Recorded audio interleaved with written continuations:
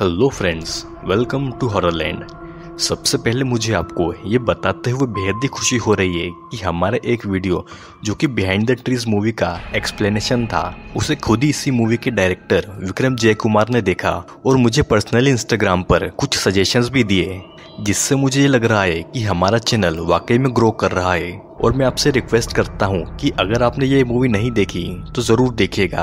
और अगर आपको ये मूवी अच्छी लगती है तो इसे आईएमडीबी पर रेटिंग देना बिल्कुल भी ना भूलिएगा। आज मैं जिस मूवी का एक्सप्लेनेशन करने वाला हूँ, उसका नाम है 0.0 मेगाहर्ट्ज जिसे यू सियोन डोंग ने डायरेक्ट किया है। दोस्तों, वैसे तो आपको पता ही होगा कि कोरियन लोगों के नाम काफ़ी स्ट्रेंज और कॉम्प्लिकेटेड होते हैं। इसीलिए मैंने इस वीडियो में उनके नाम को बदलकर कुछ सिंपल नाम में कन्वर्ट कर दिया है। तो अब ज़्यादा टाइम वेस्ट नहीं करेंगे और चलेंगे सीधा वीडियो की तरफ़।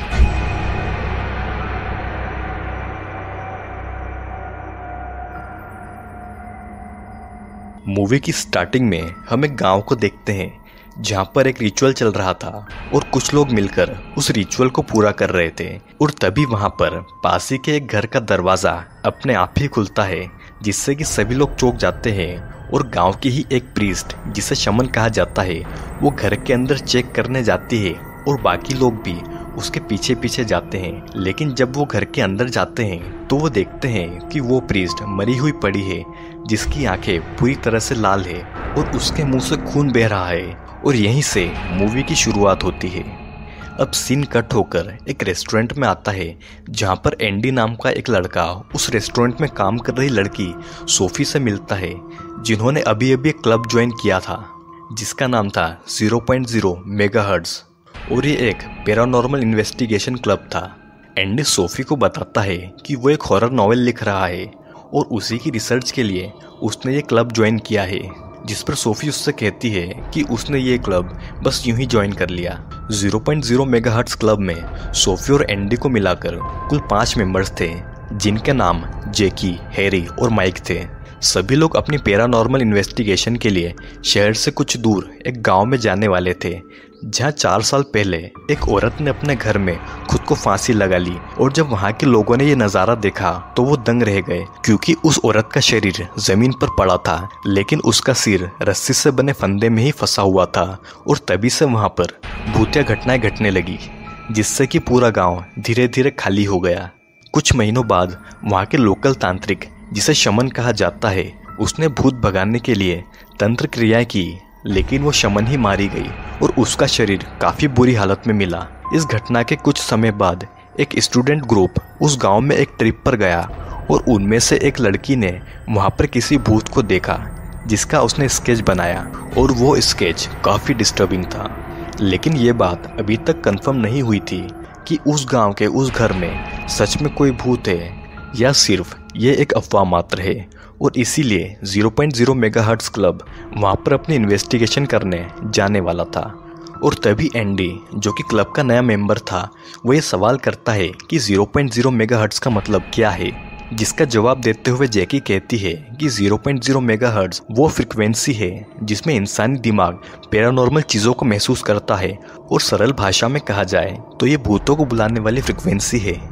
फिर हम देखते हैं कि अगले दिन सभी क्लब मेंबर्स उस हॉन्टेड गाँव के लिए निकल जाते हैं और रास्ते में एक शॉप पर रुकते हैं, जहाँ से वे सभी खाने का सामान वगैरह लेते हैं। बाहर सोफी को एक अजीब सी लड़की दिखाई देती है, जिसके पैरों से खून बह रहा था।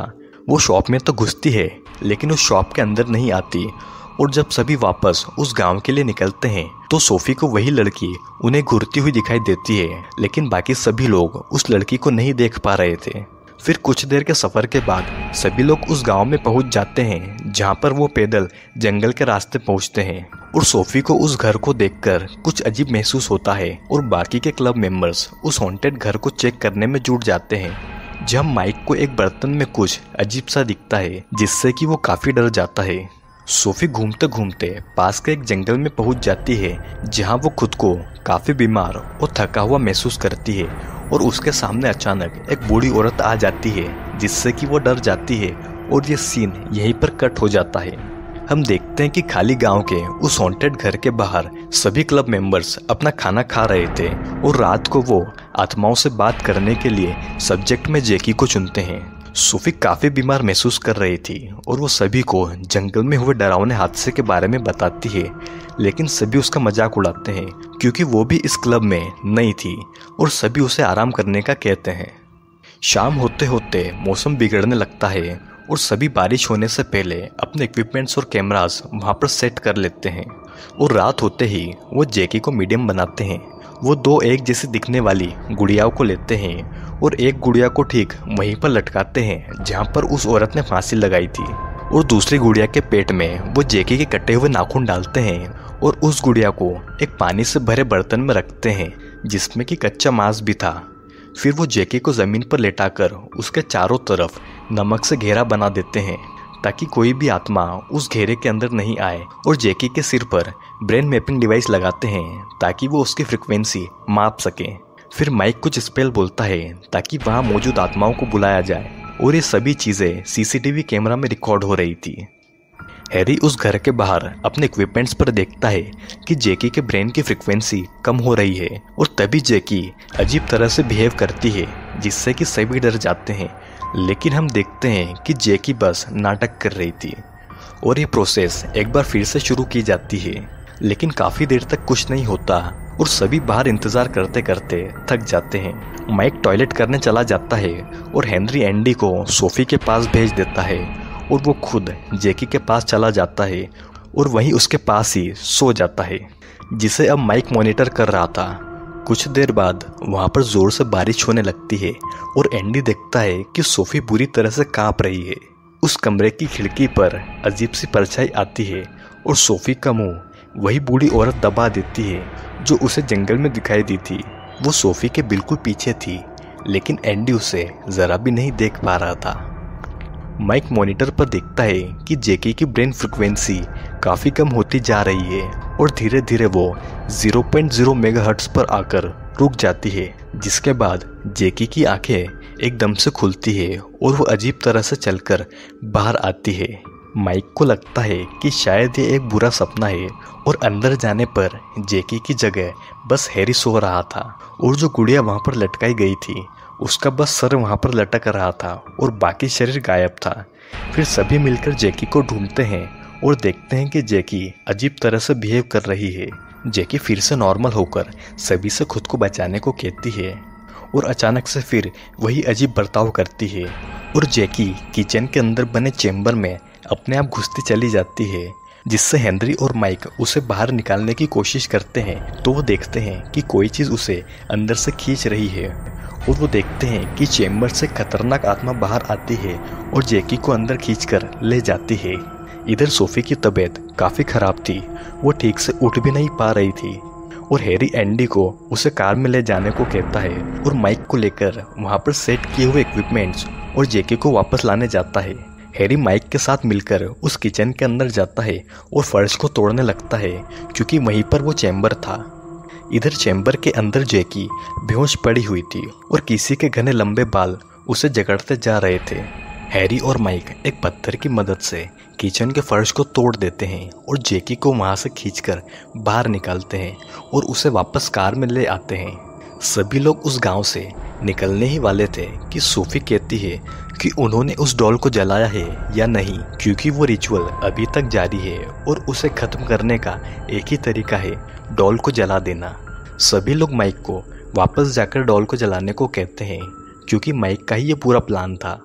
और ना चाहते हुए भी माइक वापस जाता है, लेकिन वो उस डॉल को बिना जलाए ही वापस आ जाता है और सबसे झूठ कहता है कि वो उस डॉल को जला चुका है। सभी वापस शहर आते हैं और जैकी को हॉस्पिटल में एडमिट करवाते हैं, क्योंकि उसे अभी तक होश नहीं आया था। हैरी जैकी के साथ हॉस्पिटल में रुकता है और बाकी के लोग पास के एक होटल में जाकर रुकते हैं, क्योंकि रात ज़्यादा हो चुकी थी और वो इतनी रात को अपने घर नहीं जा सकते थे। होटल के अंदर एंडी सोफी से यह पूछता है कि उसने कार में उस गुड़िया को जलाने वाली बात क्यों कही थी। लेकिन वो उसे कुछ नहीं बताती और उसे सोने का कहकर अपने रूम में चली जाती है। हम देखते हैं कि माइक अपने रूम में, गाँव में हुए हादसे की फुटेज चेक कर रहा था और जेकी के साथ हुई घटना पर उसे मज़ा आ रहा था।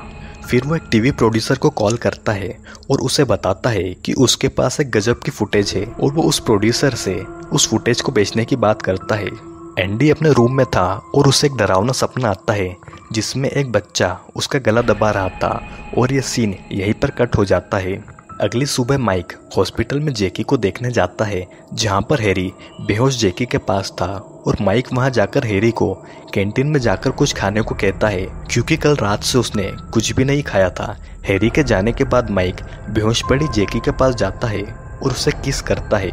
क्योंकि उसे जेकी अच्छी लगती थी और वो हैरी से जलता था कि तभी अचानक जेकी की आँखें खुल जाती है और वो अपने बालों में माइक को जकड़ लेती है, जिससे कि वो बस तड़पता रहता है। एंडी और सोफी होटल में ब्रेकफास्ट कर रहे थे कि तभी उनके पास हैरी का कॉल आता है और वो उन्हें हॉस्पिटल में बुलाता है, जहाँ पर वो देखते हैं कि जैकी पूरी तरह से ठीक हो चुकी है। मानो जैसे उसे कुछ हुआ ही ना हो। वो सभी लोग ये रात भी होटल में ही रुकते हैं। जहाँ पर हैरी और जेकी एक ही रूम में ठहरते हैं और हम देखते हैं कि जेकी पजस्ट हो चुकी थी और हैरी उसके साथ अकेले था। माइक सुबह से गायब था और उसका फ़ोन भी नहीं लग रहा था, जिसके चलते सोफी रिसेप्शन से उसके कमरे की चाबी लेती है और वो माइक के कमरे में जाकर उसके लैपटॉप में गाँव के इंसिडेंट की फुटेज देखती है और उसे पता चलता है कि उस रिचुअल के दौरान जेकी के अंदर एक बुरी आत्मा घुस चुकी थी और वो आत्मा अभी भी उसके अंदर ही है। एंडी होटल के बाहर था, और वो देखता है कि हैरी बहुत ही डरा हुआ था, और वो अपनी कार से भागकर कहीं पर जा रहा था। हैरी काफ़ी घबराया हुआ था, और रात के अंधेरे में उसकी कार के सामने एक डरावनी परछाई आती है, जिससे कि उसकी कार का एक्सीडेंट हो जाता है। एंडी को जेकी का कॉल आता है, और वो उसे अपने कमरे में बुलाती है। जब एंडी उसके कमरे में पहुँचता है तो वो जेकी का डरावना रूप देखता है, जो एक छोटे से लड़के में बदल जाती है। जो एंडी के सपने में आया था। दरअसल ये लड़का एंडी का छोटा भाई था, जो एक हादसे में मारा गया। और जैकी इसका जिम्मेदार एंडी को बताती है, जिससे कि एंडी रिग्रेट होकर अपने आप को वहीं पर फांसी लगा लेता है। लेकिन सोफी सही समय पर आकर उसे बचा लेती है। अगली सुबह उन्हें खबर मिलती है कि हैरी और माइक मारे गए हैं, और वो उनके दोस्तों की लाशों को देखकर काफ़ी दुखी होते हैं। जेकी को लगता है कि उन दोनों को उसी ने मारा है और वो एंडी और सोफी को भी मार देगी।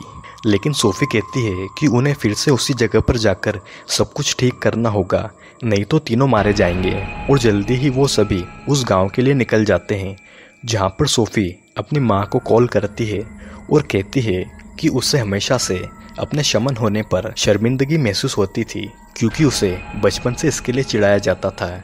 लेकिन आज उसे अपने शमन होने पर गर्व है। दरअसल शमन वो लोग होते हैं जो भूतों को देख सकते हैं और तंत्र मंत्र करते हैं। इसीलिए सोफी को गाँव जाते टाइम उस दुकान पर वो लड़की दिखी थी। और गाँव के जंगल में वो औरत दिखाई दी थी। फिर सोफी, जेकी के साथ वही रिचुअल करती है और एंडी को बाहर रुकने को कहती है। हम देखते हैं कि जेकी धीरे धीरे बदलने लगती है और सोफी उस बुरी आत्मा को जेकी के शरीर से बाहर आने को कहती है। लेकिन वो बुरी आत्मा कहती है कि वो धीरे धीरे जेकी की आत्मा को खा जाएगी और जेकी के शरीर पर कब्जा कर लेगी। लेकिन सोफी अपने मंत्र के ज़रिए उस आत्मा को जेकी के शरीर से निकालने की पूरी कोशिश करती है। कि तभी वहाँ की मोमबत्तियाँ अपने आप बुझ जाती है और वहाँ पर चारों तरफ़ अंधेरा हो जाता है, जिसके बाद जेकी और खतरनाक हो जाती है। टॉर्च की मदद से देखने पर सोफी ये देखती है कि जेकी अपनी गर्दन पूरी पीछे घुमा लेती है, जो काफ़ी डरा देने वाला नज़ारा था। सोफी जेकी को बचाने की कोशिश कर रही थी और एंडी तेज आवाज़ें सुनकर अंदर चला जाता है। जहाँ पर जेकी उसे हेल्यूसिनेट करती है कि सोफी उसके भाई को मार रही है, लेकिन असल में ये जेकी करा रही थी। तभी अचानक से जेकी का मुँह काफ़ी बड़ा खुलता है और उसके मुँह से वो बुरी आत्मा बाहर आती है, जैसा कि उस लड़की के स्केच में बताया गया था।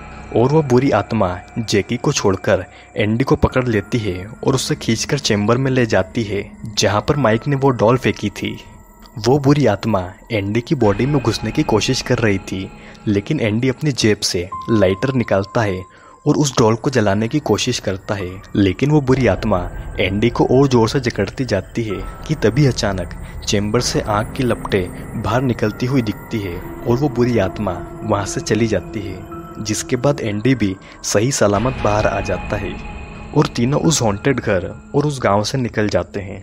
अगले सीन में हम देखते हैं कि एंडी और सोफी एक रेस्टोरेंट में थे, जहाँ पर एंडी अपने लैपटॉप में उसे नॉवेल का ड्राफ्ट दिखाता है और बाहर चला जाता है। एंडी के लैपटॉप में सोफी उस घर की फुटेज देख लेती है, जहाँ से उसे पता चलता है कि एंडी तो चेम्बर में ही था और वहीं मारा गया था। और जो उसके साथ रेस्टोरेंट में है, वो एंडी नहीं है। और तभी सोफी के कंधे पर एंडी अपना हाथ रखता है और मूवी यहीं पर खत्म हो जाती है। दोस्तों आई नो कि आपके मन में कई सारे सवाल चल रहे होंगे और मैं उन सभी सवालों को क्लियर करने की कोशिश करूँगा। ये कहानी एक पैरानॉर्मल इन्वेस्टिगेशन क्लब की है, जिसका नाम 0.0 मेगाहर्ट्ज था, जो कि एक फ्रिक्वेंसी है, जिस पर इंसान पैरानॉर्मल चीज़ों और मरे हुए लोगों से संपर्क करता है। इस क्लब में दो नए मेंबर जुड़े थे जिनका नाम सोफ़ी और एंडी था। सोफ़ी एक शमन फैमिली से बिलोंग करती थी, जिनके पास मरे हुए लोगों को देखने की शक्तियाँ होती थी। लेकिन सोफ़ी को ये ज़रा भी पसंद नहीं था। फिर 0.0 मेगाहर्ट्ज क्लब, एक गाँव के एक घर में इन्वेस्टिगेशन के लिए जाता है, जहाँ पर उनकी फ्रेंड जेकी पोजेस्ड हो जाती है और रिचुअल को ख़त्म करने के लिए उसमें यूज़ हुई गुड़िया को जलाना था, लेकिन माइक उसे नहीं जलाता, क्योंकि वो जेकी और हैरी के रिलेशन से जलता था। और जेकी अभी भी पोजस थी। वो माइक और हैरी को हेल्यूसिनेट करके मार डालती है और एंडी को भी उसके छोटे भाई का विजन दिखाकर मारने की कोशिश करती है, जो कि एक दुर्घटना में मारा गया था। सोफी को रियलाइज़ होता है कि उसके शमन होने का इस्तेमाल करना चाहिए और वो रिचुअल को ख़त्म करने के लिए वापस उस घर में जाते हैं। जहाँ पर जेकी तो बच जाती है, लेकिन एंडी नहीं बच पाता, और उसकी आत्मा सोफी को अभी भी दिखाई देती है, क्योंकि उसके पास मरे हुए लोगों को देखने की शक्तियाँ थी। तो दोस्तों, वीडियो कैसा लगा, कमेंट करके ज़रूर बताना, और वीडियो को लाइक, शेयर के साथ साथ हमारे चैनल को सब्सक्राइब करना ना भूलिएगा, क्योंकि और भी कई इंटरेस्टिंग वीडियोस जल्दी ही आने वाले हैं।